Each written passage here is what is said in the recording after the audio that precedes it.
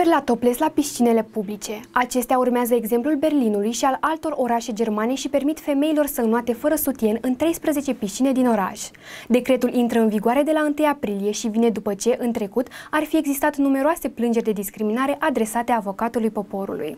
Conform noilor norme, doar slipul este obligatoriu la piscină, indiferent dacă vorbim despre bărbați sau femei. În luna decembrie anului trecut, o femeie a fost dată afară dintr-o piscină în aer liber pentru că a făcut topless. A doua zi aceasta a făcut plângere, iar autoritățile i-au dat câștig de cauză. În Germania, nuditatea publică în anumite locuri este considerată nu numai adecvată, dar și sănătoasă. Alte țări care permit nuditatea pe plajele publice sunt Australia, Noua Zeelandă și Irlanda. Autoritățile din Berlin au anunțat că de acum înainte va fi permisă intrarea topless în piscinele publice. Decizia a fost luată după un incident petrecut în 2020, transmite Mediafax. În 2020, o femeie a reclamat că nu i s-a permis să înoate topless, la fel cum li se permite bărbaților. S-a întâmplat în ciuda faptului că piscina nu avea reglementări specifice de gen pentru ținută, acceptând pur și simplu costumele de baie din comerț. Acum autoritățile din Berlin au anunțat că va fi permisă intrarea topless în piscinele publice în condițiile în care regulile erau prea vagi pentru a interzice înotătoarele topless. În același timp, pe viitor, piscinele din Berlin nu ar trebui să își modifice regulile interne și să continuă să permită accesul egal între sexe la piscine, relatează observatornews.ro.